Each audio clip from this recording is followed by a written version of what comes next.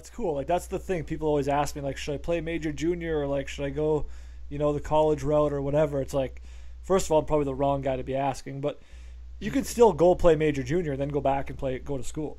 Like the, Yeah, like the team here in Saskatchewan, like the U of S team here, stacked. Like it's some of the Yep. best hockey in the country. It's just all Western guy, five year Western guys that want to now take that schooling that's paid for, get an education, and keep playing hockey. It's unbelievable Yeah. hockey. Hundred percent, dude. I think if I was Canadian, I think if I was Canadian, I would have done CIS, like uh, because it's because you can get your schooling. It's so much fun from what I've heard. Like everybody that I've talked to has said it's a great time. You're still getting to play, and you get that education, and it's all paid for. And I think even some of the guys that I was with are you kind of get money on the side, right? Because you get something, you get it all paid for, and then you get some. So you're still making a little bit of money to like live off of.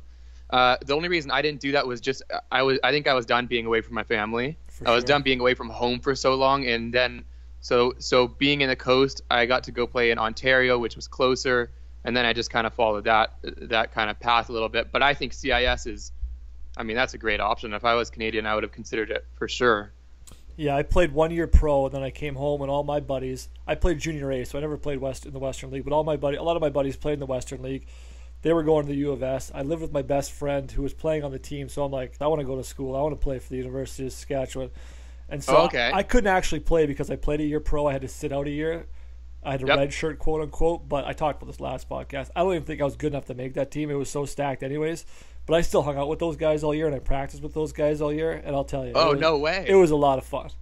Yeah, it was a lot of fun. So I lived Oh, the I'm life sure without is. living the life. There was no real pressure, and I dusted off six grand to go to school because I had nothing paid for. But I was just like, whatever, let's go to school for a year.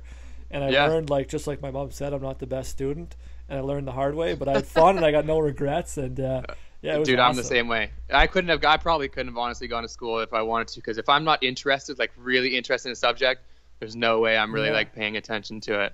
Well, it's tough But too because those guys are all living the life, right? But everything they got is paid for, and they're being paid. And I'm grinding Yeah. it out on the weekends playing senior hockey for a buck fifty a game, trying to get my rent covered. You know what I mean? Everyone's like, "Let's go do this, let's go do this." I'm just like, "Fuck, dude!" Like, Yeah, absolutely. To- yeah, that's a little different. See, I, I, I couldn't have. I don't think I could have done that.